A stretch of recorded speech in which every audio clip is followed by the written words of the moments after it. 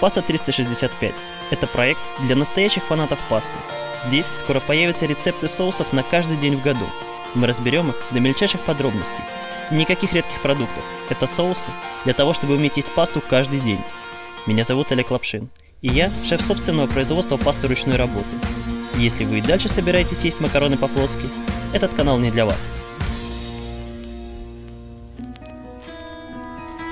Пара-пара-пам. А, Здравствуйте! А, Сегодня мы с вами готовим классический французский соус бешамель. Для этого нам понадобятся те продукты, которые есть в каждом доме, и вы можете их найти в любом магазине. Одна луковица, 500 мл молока, а, один листочек лаврового листа, ровно 25 грамм муки, немножко мускатного ореха, совсем чуть-чуть, буквально щепотку, ровно, ровно 12 перчиков и один бутон гвоздики. А, Также белый перец и немножко петрушки. Ну и, конечно, не забываем соль. Первое, что мы делаем, мы нарезаем лук. Следующее, что мы с вами сделаем, мы нагреем молоко.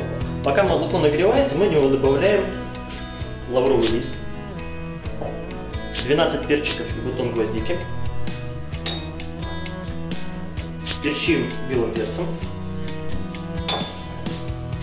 добавляем а, либо одну свежую веточку петрушки, либо у меня намолотая примерно в соотношении. Конечно, не забываем посолить. Бешамель лучше чуть-чуть пересолить, а, тогда это придаст особую пикантность этому соусу. Если его не досолить, тогда он получится безвкусным. И натираем мускатный орех. Старайтесь не покупать мускатный орех, который уже натерт, потому что он теряет более 50% аромата.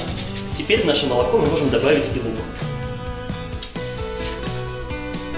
Не беспокойтесь о том, насколько ровные кубики у вас нарезаны, потому что самого лука в соусе не будет. Для того, чтобы жарить грибы, нам обязательно нужно их протирать салфеткой, а не мыть, потому что грибы, они имеют пористую структуру и они набирают в себя максимум влаги. Так как потом они будут проходить термообработку, то все бактерии будут убиты. Все, что нам нужно, это снять только кусочки земли с них. Молоко готово, и мы его настаиваем 15 минут. Дальше нарезаем грибы крупными слайсами. Грибы нужно обжаривать на высокой температуре, но небольшое количество времени.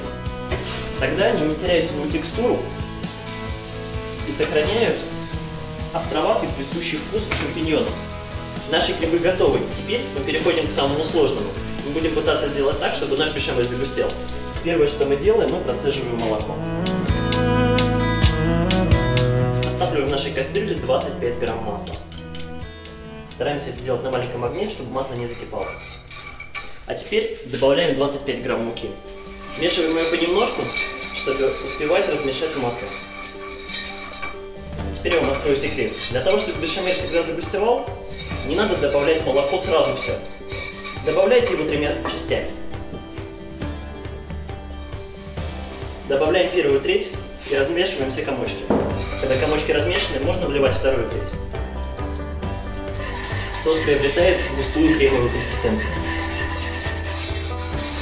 Когда не осталось ни одного комочка, добавляем финальную часть молока. И соус снова должен стать жидким. Но не пугайтесь, ему нужно какое-то время для того, чтобы снова загустеть. Включаем средний огонь и равномерно помешиваем. Нам понадобится около 5 минут для того, чтобы соус снова стал густым. Пока варится наша паста, соус обязательно нужно накрыть крышкой для того, чтобы он не покрылся пылом. Соус бешамель достаточно нежный на вкус, поэтому нам понадобится классическая паста Белла. Пасту варим в большом количестве воды. Это помогает ей сохранить ее эластичность и плотность. Если пасту варить и воды будет совсем немного, тогда она станет склеиваться. Готовую пасту вместе с грибами кладем в наш соус. Когда не верите красивым картинкам, на которых показывают выложенную пасту, а сверху горкой соус. Как говорят итальянцы, соус и паста должны пожениться. Для этого обязательно нужно смешать в одной кастрюле и дать постоять немного.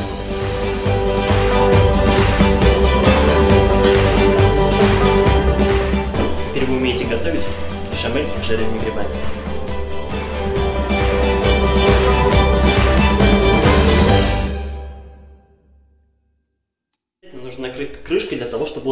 Пленкой. Миха! Миш! Звук не очень вкусный, конечно. Ну, звук, да. Пока варится наша паста, соус обязательно нужно накрыть крышкой, для того, чтобы он не покрылся пленкой.